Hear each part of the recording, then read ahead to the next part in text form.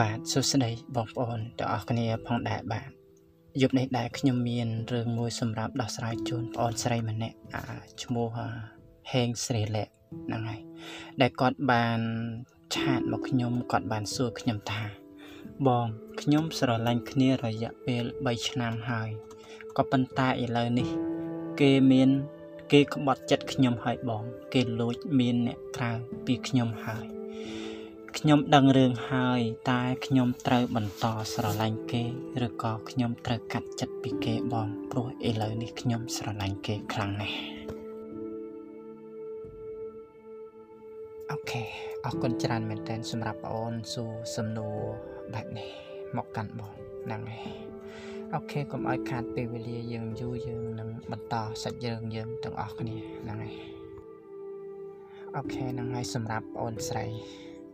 ស្រឡាញ់គ្នារយៈពេល3ឆ្នាំទៅហើយយូរគូសំដែរហ្នឹងហើយសម្រាប់អនុស្សាវរីយ៍វិញគឺច្រើនក្រន់ដែរបើសិនថាប្អូនកាត់ចិត្តនៅពេលនេះក៏ប្អូនពិបាកនឹងកាត់ចិត្តបន្តិចព្រោះអីប្អូនបានសាងអនុស្សាវរីយ៍ជាមួយគ្នាបានគូសំដែរហ្នឹងហើយអនុស្សាវរីយ៍នឹងហើយដែលធ្វើឲ្យយើងកាត់ចិត្តពីគេមិនបាន អនុស្សាវរីយ៍នឹងហើយដែលធ្វើឲ្យយើងនឹកគេរហូត អនុស្សាវរីយ៍នឹងហើយដែលធ្វើឲ្យយើងស្រឡាញ់គេកាន់តែខ្លាំងព្រោះអី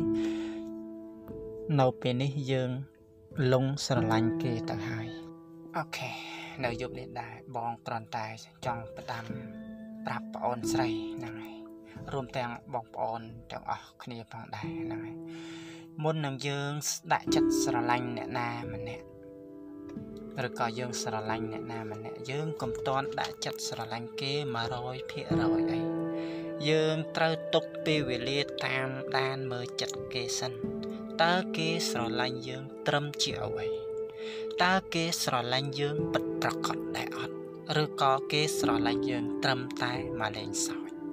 ដូច្នោះយើងត្រូវដាក់ចិត្តស្រឡាញ់គេត្រឹម50%ឬក៏ 60%បានហើយយើងទុកពេលវេលាមើលចិត្តគេសិនអបមាថាយើងដាក់ចិត្តស្រឡាញ់គេ100%ថ្ងៃណាមួយយើងជួបរឿងបែបនេះរឿងបែកគ្នាបែបនេះពិតប្រកបណាស់យើងម្នាក់ម្នាក់ត្រូវពិបាកចិត្តយ៉ាងខ្លាំងដោយសារថាយើងដាក់ចិត្តស្រឡាញ់គេ100%ទៅហើយហ្នឹងឲ្យយើងឲ្យយើងលងស្រឡាញ់គេទៅហើយហ្នឹងបងអូនត្រូវតែសួរខ្លួនឯងឡើងវិញថា តើគេស្រឡាញ់យើងពិតប្រាកដដែរអត់តើគេស្រឡាញ់យើងត្រឹមជាអ្វីឬឬក៏គេស្រឡាញ់យើងត្រឹមតែមកលេងសើចសប្បាយនឹងយើងតែប៉ុណ្្នឹងទេបើសិនគេស្រឡាញ់យើងពិតប្រាកដមែនគេមិនធ្វើបែបហ្នឹងទេអបមាថាយើងដាក់ចិត្តស្រឡាញ់អ្នកណាម្នាក់ក្នុងចិត្តយើងមានតែមនុស្សម្នាក់នោះតែប៉ុណ្ណោះมันអាចមានអ្នកនេះมันអាចមានអ្នកនោះជាដាច់ខាតព្រោះអីយើងស្រឡាញ់តែម្នាក់នោះទេ បងដឹងថាពេលនេះម៉ោងនេះប្អូនកំពុងតែស្រឡាញ់គេខ្លាំងប្អូនគេធ្វើបាបប្អូនកាន់តែខ្លាំងប្អូនស្រឡាញ់គេកាន់តែខ្លាំងដែលมันអាចកាត់ចិត្តពីគេបានព្រោះអីប្អូនដាក់ចិត្តស្រឡាញ់គេ100%ទៅហើយហ្នឹងបងគ្រាន់តែចង់ប្រាប់ប្អូននៅយប់នេះថាប្អូនត្រូវតែកាត់ចិត្តពីគេឲ្យបាន តារាបណាដែលប្អូននៅតែបន្តស្រឡាញ់គេប្អូននៅតែឈឺចាប់បែបហ្នឹងយើងត្រូវគិតសារឡើងវិញតើយើងស្រឡាញ់គេធ្វើអ្វីទៀតព្រោះអីឥឡូវនេះគេមានអ្នកថ្មីក្រៅពីយើងហើយហ្នឹងគេក្បត់ចិត្តយើងហើយហ្នឹងតែយើងនៅបន្តស្រឡាញ់គេធ្វើអីបងដឹងថាប្អូនពិបាកចិត្តខ្លាំងប្អូនកំពុងតែឈឺចិត្តយ៉ាងខ្លាំងព្រោះអីគេក្បត់ចិត្តយ៉ាងក៏ប៉ុន្តែពេលដែលប្អូនឈឺចាប់ ពេលដែលប្អូននឹកគេប្អូនត្រូវតែយំយំឲ្យអស់ទឹកភ្នែកយំរហូតដែលយើងដេកលក់ភ្ញាក់មកយើងយំទៀតព្រោះអីទឹកភ្នែកយើង ពេលដែលយើងយំវាអាចនឹងធូរក្នុងខ្លួនយើងបានខ្លះសម្រាប់យើងរួចហើយដល់ថ្ងៃស្អែកយើងត្រូវជូតទឹកភ្នែកយើងត្រូវដើរទៅមុខទៀតរងចាំអ្នកទី2ចូលមកក្នុងជីវិតយើងម្ដង យើងកុំគិតថាខ្ញុំមិនស្រឡាញ់អ្នកណាទេក្រៅពីមនុស្សម្នាក់ហ្នឹងខ្ញុំមិនអាចទទួលអ្នកណា ចូលក្នុងចិត្តខ្ញុំបានទេកុំកុំធ្វើបែបហ្នឹងតារាបណាដែលយើងនៅតែឯងតារាបហ្នឹងយើងនៅតែឈឺចាប់រហូត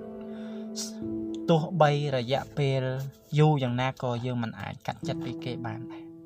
អបមាថាថ្ងៃណាមួយ មានអ្នកដែលស្រឡាញ់យើងពិតប្រកបចូលមកក្នុងជីវិតយើង គេធ្វើល្អគេយល់ចិត្តយើងគេធ្វើល្អជាមួយយើងគ្រប់បែបគ្រប់យ៉ាងពិតប្រកបណាស់យើងនឹងអាចបំភ្លេចគេបាន